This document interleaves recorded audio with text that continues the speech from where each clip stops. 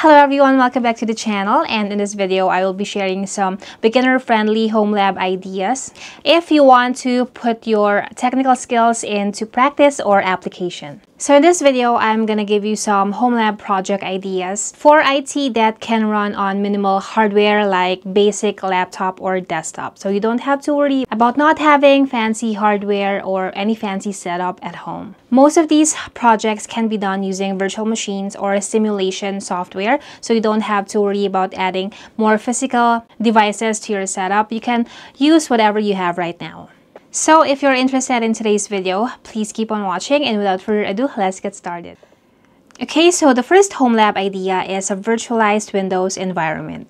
The purpose for this is to learn Active Directory, group policy, Windows Server, and user management. So the tools that you will need for this is any virtualization platform that you're comfortable with, just like VirtualBox, VMware, or Hyper-V a Windows Server ISO, and a Windows 10 or 11 for the client virtual machines. So I already started making a series for this home lab where you will learn how to install Windows Server on a virtual machine and then add the Active Directory tools and then do some user management and some GPO file permissions and security policies. So if you want to check that out, it's in the channel. And also on the website, I provided some PDF for the step-by-step -step instruction on how to install everything and how to do this home lab activity if you're interested.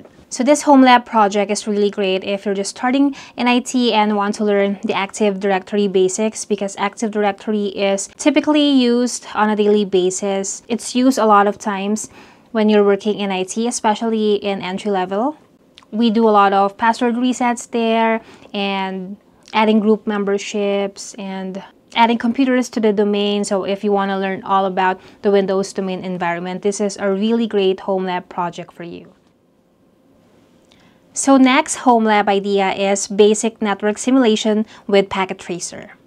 The purpose of this home lab activity is to learn more about networking concepts in application like switching, routing, IP addressing, VLANs, subnets, and more. So the only tool that you will need in here is Cisco Packet Tracer software, which is free if you register for the Cisco Network Academy or the Skills for All. And you can just download it and install for free on your computer. I've also started making a playlist for home lab ideas to try using Packet Tracer and they're on the channel and I also have PDF instructions on the website as well if you want to check them out. This is really good if you want to focus more on networking in your career and if you are studying for CCNA or other Cisco certs or if you are just starting to learn computer networking. Next idea for a home lab activity is to set up a ticketing system with rules to practice your ticketing system skills. So the objective of this activity is to learn how to handle tickets, setting priorities, and also make rules for automation in ticketing system, especially if you haven't worked on a ticketing system before. This is a really good practice for you. There are some free ticketing system platforms that you can try out there like Spiceworks.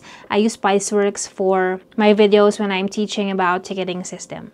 Okay, so for example, you wanted to try out a ticketing system just like Spiceworks. So you can go to Spiceworks ticketing system on Google and click on this cloud-based help desk software. And you can click on Try Cloud Help Desk and register your information in here, email address and password. And after that, you can click on Join Spiceworks. Once you have registered to Spiceworks, you can select IT tools from the menu above and click on Cloud Help Desk because that is the ticketing system for Spiceworks and click on Try Cloud Help Desk. And as you can see, we now have the ticketing system here and you can create new tickets just so you can practice on how to create tickets like this and set the priorities for example, add the descriptions so you can see how ticketing system works. So you can also make some rules for the tickets that will automate your operations and the ticketing systems. So if you're using Spiceworks, this is where you can set the ticket rules. You can go to the settings on the left side and then click on ticket rules and then you can add a ticket rule. Okay, so one example I can give you on adding tickets is to route the tickets to specific tags via different categories. So the goal for this is to help streamline ticket assignments by having categories route issues to the relevant technicians. So for example, there's a ticket about like a networking issue, you can automatically route it to the network engineer. Another example is if there's a security issue, you can route it directly to the security team, for example. So you can go to this add ticket rule in here and then add the title or the description of the rule. For example, we can do route network issues. And then under the rules there's like different options you can choose from the drop down in here. We will just stick to category because we want our category to be networking. So in the drop down here on this side there is the network so for example, a networking related ticket comes in. This is going to be the rule and then the action can be changed at the bottom. So you can select from the different options. So let's say assign to because we want to route the ticket to a person or a team. For example, we want Marie to get the networking tickets because she's the network engineer, for example. And that's how you can add the rule in here. So you can also practice on the different options in here for the rules and see how they work in the ticketing system. Another good idea for a home lab activity is to explore the Windows internal toolset.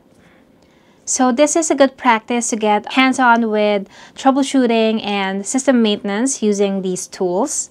The only tools that you will need is a Windows operating system and you can download Sysinternals tools for free on Windows and this is what we typically use at work. We use a lot of the sysinternal tools in there and you can practice your troubleshooting and system maintenance in there too. So one of the most common tool that we use from sysinternals is the auto logon tool. So this tool will automatically log on your computer without having to type the credentials on it and this is helpful for like kiosk machines or computers that just need to display something on the screen.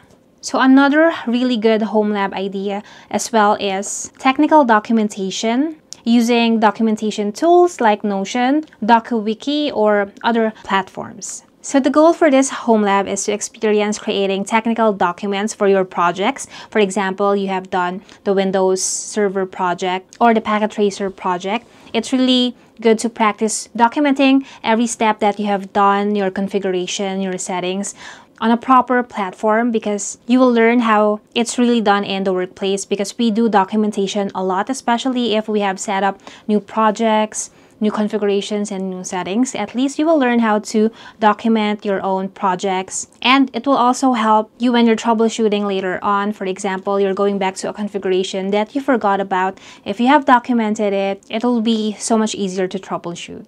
Okay, so I'm going to show you an example of how to document your projects. For example, we have done the basic LAN setup. So what you want to do is add the objective first or the goal of the project, what you will learn from doing this. And then it's nice to have systems requirements also, like what kind of software and hardware is required to run this project. And then a diagram for the lab setup if possible or applicable just like this for the packet tracer and the steps for how to install and set up and configure it. So this is where all of the commands will be added and all of the steps that you have done.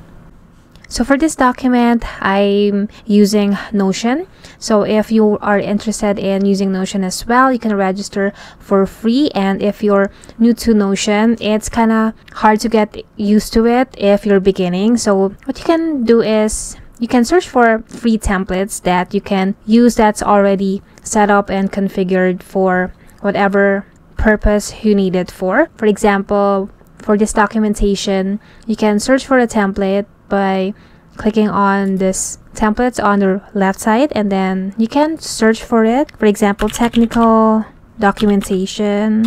You can download the free templates here or pay for a template if you want. So this is what i use for my technical documentation template. So it's up to you what you choose in here but this is an example of a platform that you can use for practicing your documentation. So these are some of the beginner-friendly home lab ideas that you can try on your own personal computer without additional hardware requirements for you. All of the tools and software and platform that I have given in this example are free or have free trial that you can try. So I hope that you learned something from today's episode and if you have any questions, please feel free to leave it down in the comment section below. And I hope to see you guys in more episodes for this Home Lab idea series. And once again, thank you so much for watching and I hope to see you guys on the next videos.